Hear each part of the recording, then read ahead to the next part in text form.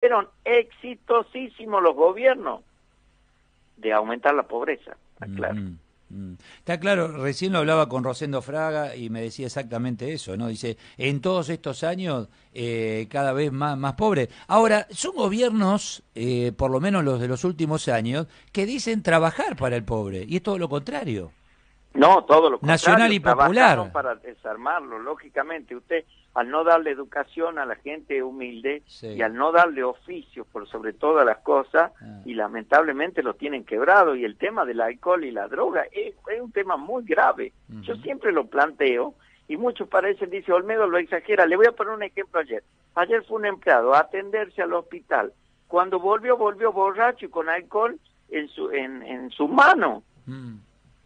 Escuchó bien lo que le estoy diciendo, ¿no? Sí. Es una sociedad que en algún momento, eh, yo no sé cuándo fue, pero se generó el punto de inflexión y se va deteriorando y cada vez más. Y el punto de inflexión es cuando al que no trabaja le dan más beneficios que al Ah. que trabaja. Ajá. Al que trabaja y le pone el hombre al país le dan menos beneficios que al preso. Mm, mm. Eh, ¿Estos temas se discuten en el Congreso? Y yo los planteo, no solo con proyecto de ley, sino también Mm. mediáticamente, pero usted vio, me cuesta muchísimo. A ver, ¿por qué los presos no trabajan obligatoriamente? ¿Por qué eh, le tenemos que dar de comer? Está bien, es un derecho, pero ¿por qué no se cocinan ellos? Mm. Hagan algo. Mm. Es que ya ni hablamos de los presos. Yo acá, este, eh, el año pasado, eh, iniciando este, este año, la emergencia social. Ok. Ahora, eh, ah, se terminó. Bueno, eh, vamos el lunes a una movilización acá en la capital federal. Volvieron a renovar el tema emergencia social, se terminó la movilización. Es un apriete permanente, Alfredo. Bueno, yo le dije claramente al presidente en mi discurso, Ajá. no se deje apretar por lo que tienen tapada la cara y con un palo en la mano, Mm. porque esos son extorsionadores políticos. Lo mismo que la marcha del día martes. Los sindicalistas están gordos y los trabajadores están flacos. Sí. Eh, ¿Esto lo nota usted en todo el país o solo se ve acá en el conurbano y, y en la ciudad de No, Buenos en todo el país lamentablemente es el, el, el derecho al no estudio, porque el gobierno anterior hasta le dio plata para que no pasen de curso, y lo voy a explicar porque vio ese plan progresar que le daba plata para que termine el secundario. Bueno, los alumnos iban y presionaban a los profesores para que no lo hagan pasar de curso para seguir cobrando varios años. Mm. Es a la inversa. Usted si quiere ver progresar a alguien no le tiene que dar plata, le tiene que enseñar a trabajar.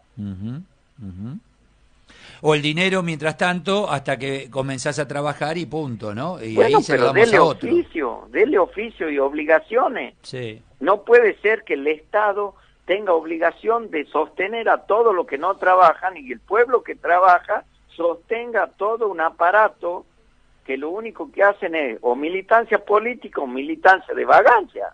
Mm. Y ya estamos hablando de dos generaciones, ¿no? O tres. o más, o más.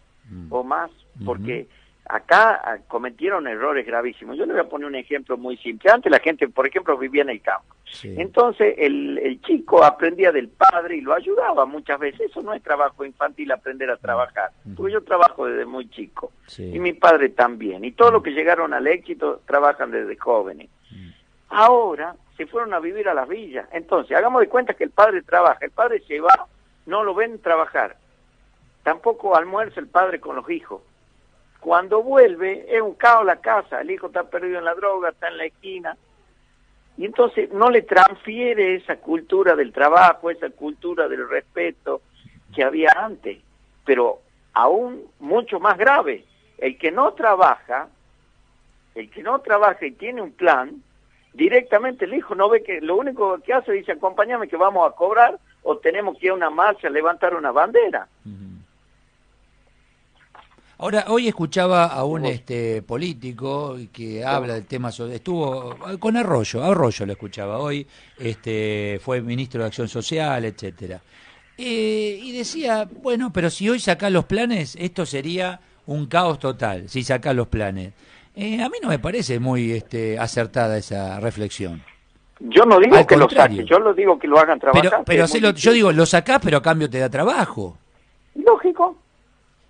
Pero hagamos de cuenta que el Estado los tiene que seguir sosteniendo como lo sostiene. Sí. Bueno, póngalo a trabajar, a pintar las escuelas, a arreglar los hospitales.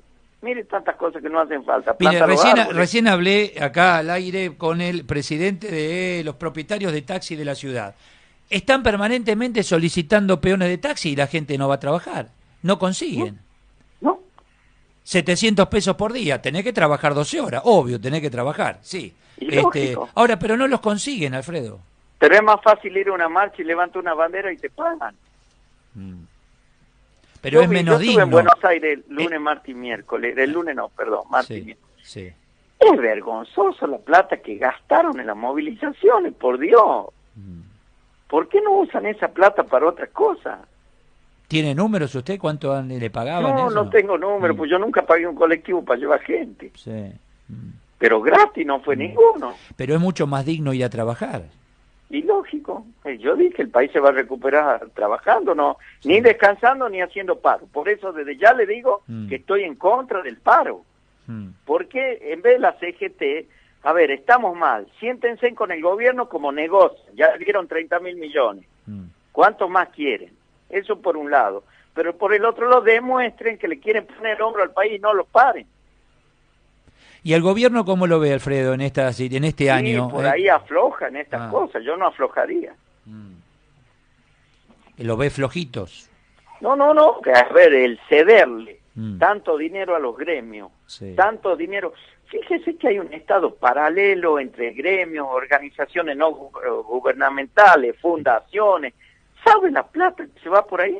Mm.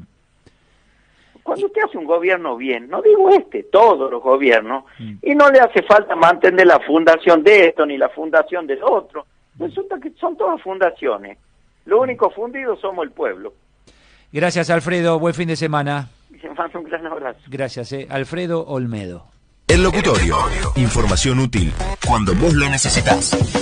2322 9189. El WhatsApp de Radio Latina.